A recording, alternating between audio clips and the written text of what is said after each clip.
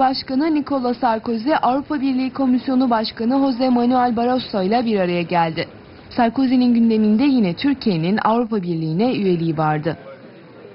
Türkiye konusundaki görüşlerini birçok kez dile getirdiğini belirten Sarkozy, Cumhurbaşkanı seçilmesinin ardından fikrini değiştirmediğini, Türkiye'nin Avrupa Birliği'nde yeri olduğuna inanmadığını belirtti. Sarkozy, öncelikli gündeminin Avrupa Birliği'ndeki anayasa krizinin çözümü için basitleştirilmiş anlaşma üzerinde uzlaşılması olacağını anlattı. Ben sorun yaratmak değil çözmek istiyorum diyen Sarkozy, Avrupa'nın sınırları olmalı mı olmamalı mı? Hazmetme kapasitesi nedir? Biraz daha derine inmemiz gerekiyor diyerek bu tartışmanın çıkmaza giren anayasa krizinin aşılmasıyla gündeme geleceğini ifade etti.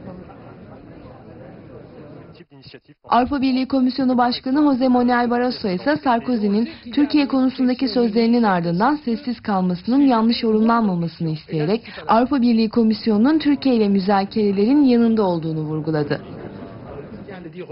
Barroso, müzakerelerin sürdürülmesinin üye ülkelerin sorumluluğunda olduğunu vurgulayarak bu sorumluluğun yerine getirilmesini istedi.